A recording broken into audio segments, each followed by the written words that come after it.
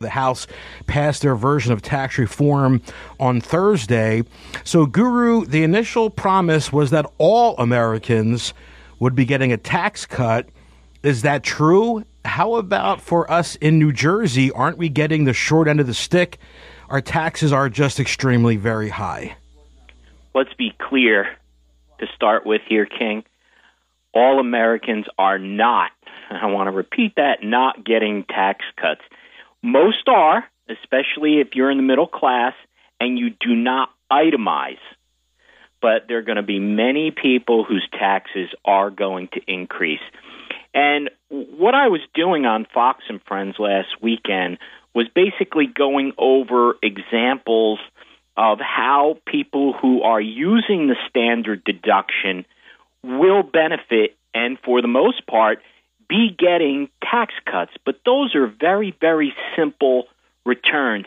It, it's virtually impossible to do a comparison when you have people that are itemizing because there are so many different things that impact those types of returns.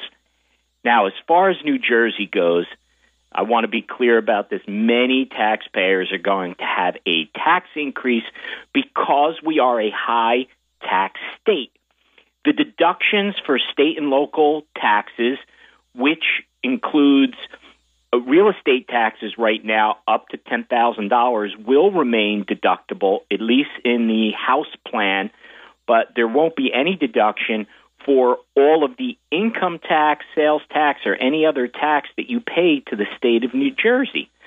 And I have said from the start with this that there is not going to be a single Democrat that is going to vote for this tax plan in the House or in the Senate.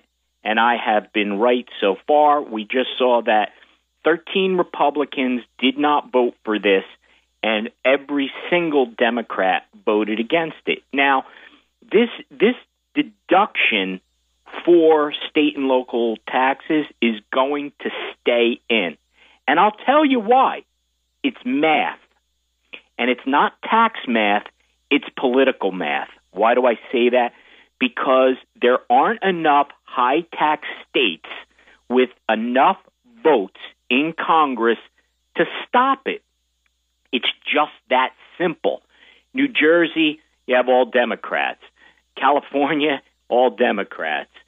Uh, Connecticut, New York. It goes on and on and on. So you're just not going to have enough to turn the tide. So we in New Jersey, I think, have to come to the reality that we are going to lose that the deduction. And to be honest, I'm disappointed with this plan overall, and I'll tell you why. Is because we could have had tax cuts across the board by just changing the rates and the brackets.